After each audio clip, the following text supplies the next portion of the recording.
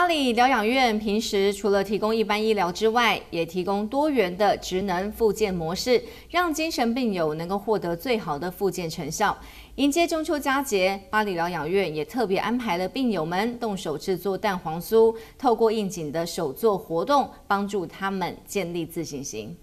擀面团、包馅、烘烤前还要平管，最后刷上蛋液、点芝麻。疗院病人制作蛋黄酥，一条龙式生产，每个人按照能力线去拥有不同职位。可能我们有时候诶遇到一些，比如说它空间感、排列感不好的时候，那我们可能会用辅具，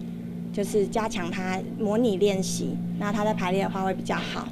对啊，或是说像嗯那种计算能力不好，因为我们都要算配方嘛。那我们可能会添购，比如说有小数点的计算机，就是那种可以四舍五入的，对，会让他更有成就感。